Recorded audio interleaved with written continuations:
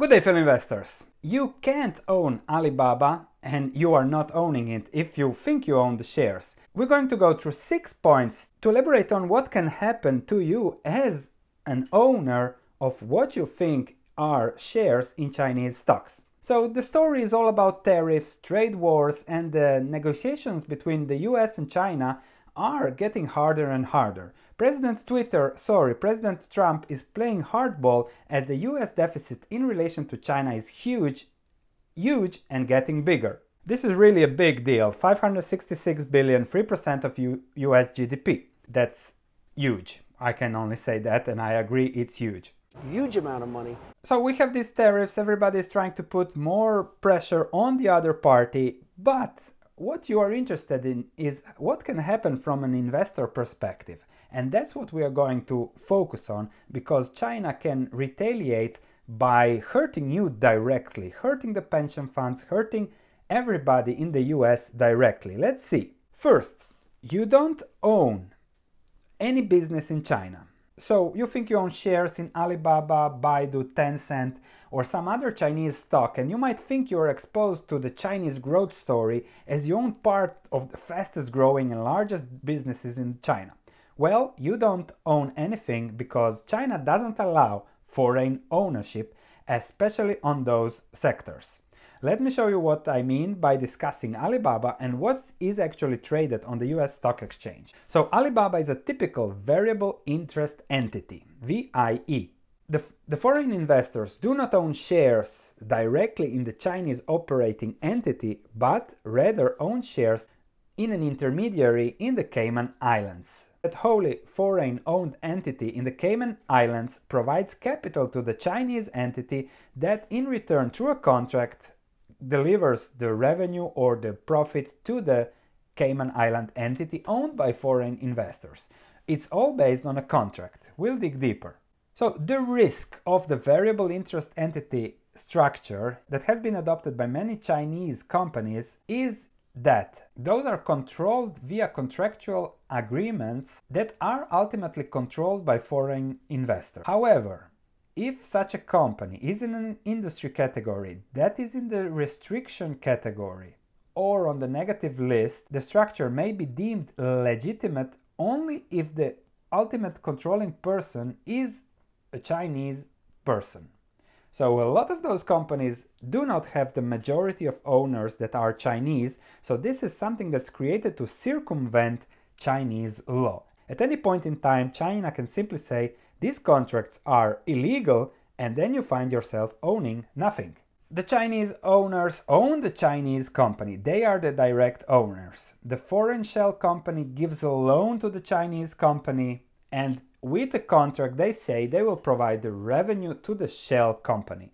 However, that's just a contract which might be illegal in China because then foreign people own those companies and that's not allowed. So it's a bit of a gray area. This is Alibaba's corporate structure.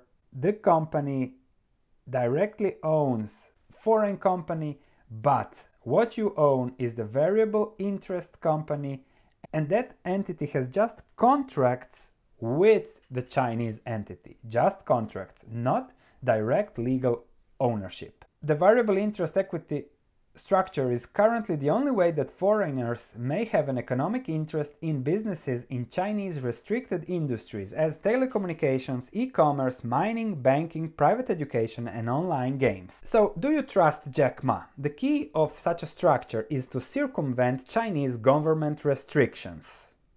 So as there is a contract and any contract can always be disputed and changed, for example, in 2012, Jack Ma decided to transfer the assets of Alibaba's online payment platform and Financial Ant Pay to a company owned by him. Yahoo and SoftBank that owned 44% and 30% of Alibaba went ballistic because that is what happens. You own something, then in a moment you don't own it. And that's exactly the risk of what can happen. They settled, but now Alibaba owns just 33% of the company. It used to own 100% of it. And they had to enter in August, two years later, into a share and asset purchase agreement that they negotiated with Ma to get 33% of the company.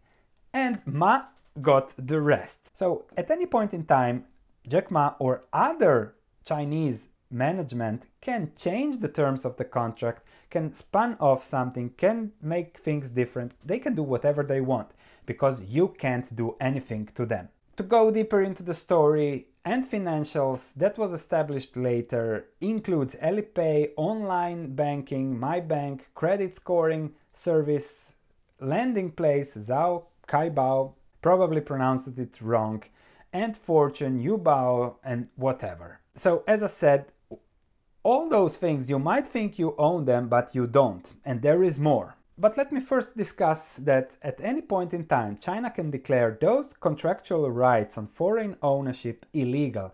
And what you would end with is squat, nothing, no, zero, because if they deem those contracts illegal, you hold nothing into in your hands. And if you want to complain, you can go to the Chinese legal system to complain. Good luck. I don't know how to say good luck in Chinese. So I don't think these risks might materialize, but if hell breaks loose, it might be a big threat to what's going on now on the trade war. For example, in 2012, Chinese Supreme Court broke up one of the variable interest entities when it invalidated contracts made between Minsheng Bank of Hong Kong and its mainland proxy, cutting off foreign investors from future profits. As I said, you don't own Ant Financial, you don't control Alipay or its parent, or its parent entity, over which Jack Ma effectively controls a majority of the voting interest. Further, something very important, the licenses and domain names used by Alibaba in China are not owned by Alibaba. They are owned by Jack Ma and Simon Xie and have that have just agreed to allow Alibaba to use them and profit on them. So there is always the risk that the owners of those assets refuse to collaborate, want to change the terms. Perhaps Jack Ma will collaborate, but what if he dies? Will those who get his inheritance agree? And will the Chinese courts take your side or their side? So it's always a risk to keep in mind. People forget when things go good, but look at what happened in Russia. This might also happen in China. Then, Ma and Xin are using Baba's money to buy companies. So they got a loan of 1.05 billion to buy 20% of Wasu. This is the deal. So the Alibaba group gave Simon Xie a loan so that they can buy Wasu Media Holding.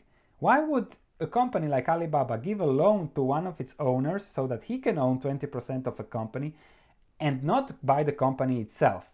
Because Xie decided so. So their interests are completely not aligned with your interest, especially if you're a foreign owner.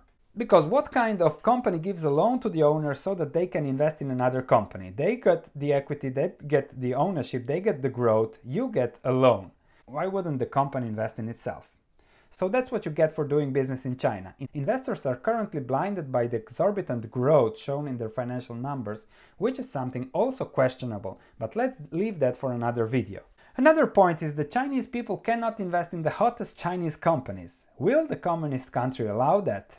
Because if you're a high school student in Salt Lake City, Utah, or a college graduate in Berlin, you can easily buy stocks in Tencent, Alibaba, and other Chinese tech giants.